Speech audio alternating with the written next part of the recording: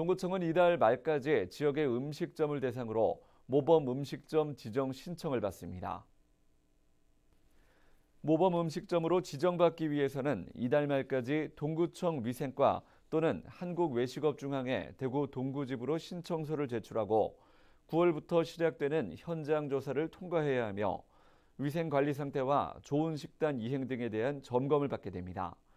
자세한 내용은 동구청 홈페이지를 방문하거나 동구청 위생과 식품위생 담당에게 전화해 문의할 수 있습니다.